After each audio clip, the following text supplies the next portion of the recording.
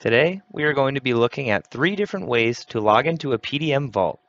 The three login types are SOLIDWORKS PDM Login, Windows Login, and LDAP Login. To access the different login types, navigate to the PDM Archive Server Configurator by searching for it in your taskbar. A message will pop up asking if you want to make changes to your device. Go ahead and press yes, and the Archive Server Configurator will open. Expand this computer, then choose the Archive folder where we will see the vault that we are working with. In this case, Practice. Right-click the vault and choose the Properties option. This will bring up the Properties dialog box where we can choose the Login tab. This is where we can see the different login types. Now that we know where to find the login type options, let's see what each one does. First, we will see SOLIDWORKS PDM Login. This login type is the only available option for PDM standard users and requires the admin to create users for each person who needs access to the vault. These accounts only exist within the SOLIDWORKS PDM environment. The user will log in using the username and password defined by the admin. Next, we will look at Windows Login.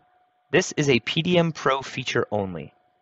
This login type allows the Vault to connect to your company's Windows Active Directory where users can be added to view the Vault using their Windows credentials.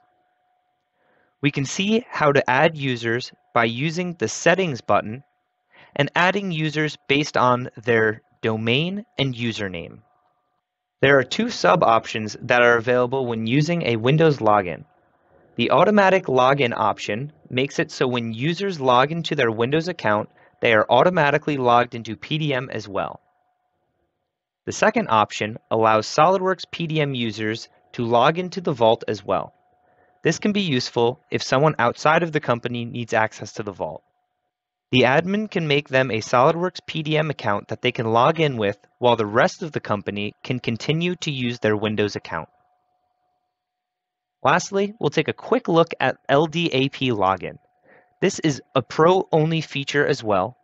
If you are using an LDAP server for your company, you can use this option to connect to your Active Directory users similarly to the Windows login option. This has been the three different types of ways that we can log into a PDM vault. Now we can ensure that everyone has access to what they need to see. If you like this video, be sure to subscribe to our channel and visit us at hawkridgesys.com.